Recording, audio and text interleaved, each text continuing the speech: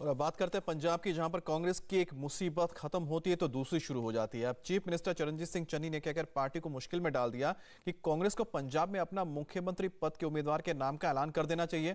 चन्नी का कहना है कि कांग्रेस जब जब बिना चीफ मिनिस्टर के चेहरे के चुनाव मैदान में उतरी है, हारी है, इसलिए पार्टी को चीफ मिनिस्टर के उम्मीदवार का नाम घोषित करना चाहिए।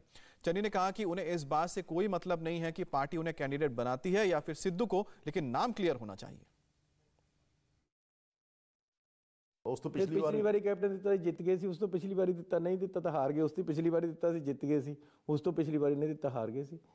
ਐਤਕੀ ਦੇ ਦੇਣਾ ਚਾਹੀਦਾ।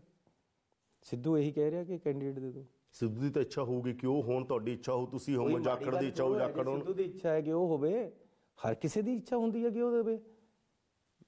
ਕੋਈ ਸੋਚਦਾ ਮੈਨੂੰ ਇਹ ਬਣਾਓ ਕੋਈ ਸੋਚਦਾ ਨਹੀਂ ਬਣਾਓ। ਮੈਂ ਕਹਿੰਦਾ ਯਾਰ ਜਿਹੜੀ ਪਾਰਟੀ ਬਣਾਏਗੀ ਠੀਕ ਹੈ। ਮੈਂ ਕਿਸੇ ਦੌੜ ਵਿੱਚ ਇਸ ਤਰ੍ਹਾਂ ਪੈਂਦਾ ਹੀ ਨਹੀਂ ਬਹੁਤ। ਤੁਹਾਡਾ ਸੀਐਮ ਬਣਨਾ ਕਿੰਨੇ ਕੁ ਲੋਕਾਂ ਨੂੰ ਦੁਖਿਆ ਵੈਸੇ? ਮੈਨੂੰ ਤਾਂ ਕੋਈ ਮਿਲਿਆ ਨਹੀਂ ਜਿਹਨੂੰ ਦੁਖਿਆ ਹੋਵੇ। ਜਿਹੜੇ ਕੋਈ ਰਜਵਾੜੇ ਸ਼ਾਹੀ ਆ ਉਹਨਾਂ ਨੂੰ ਦੁਖਿਆ ਹੋਏਗਾ। ਆਮ ਬੰਦਿਆਂ ਨੂੰ ਤਾਂ ਦੁਖਿਆ ਨਹੀਂ। ਮੈਂ ਕਾਂਗਰਸ 'ਚ ਪੁੱਛ ਰਿਹਾ ਕਾਂਗਰਸ 'ਚ ਕਿਸੇ ਨੂੰ ਨਹੀਂ ਦੁਖਿਆ। ਸਾਰੇ ਖੁਸ਼ ਸੀ।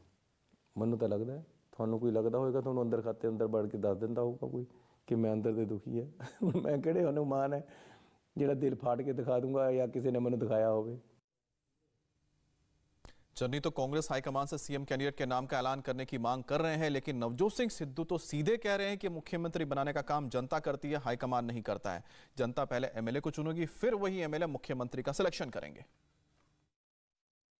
हर बंदा सीएम बन तुरया भाई, सीएम बनाऊ पंजाब के लोग। तेन किने कहता मित्रा कि high command बनाऊगी CM? Who told you listen to me Punjab के लोगों ने ਪੰਜਾਬ ਦੇ ਲੋਕਾਂ ਨੇ ਐਮਐਲਏ ਵੀ 5 ਸਾਲ ਪਹਿਲਾਂ ਬਣਾਏ ਸੀ। ਐਮਐਲਏ ਬਣ ਗਏ ਜਾਂ ਨਹੀਂ, ਇਹ ਪੰਜਾਬ ਦੇ ਲੋਕਾਂ ਨੇ ਡਿਸਾਈਡ ਕਰਨਾ ਹੈ। ਔਰ ਪੰਜਾਬ ਦੇ ਲੋਕ ਤਾਂ ਡਿਸਾਈਡ ਕਰਨਗੇ ਜੇ ਏਜੰਡਾ ਹੋਇਆ।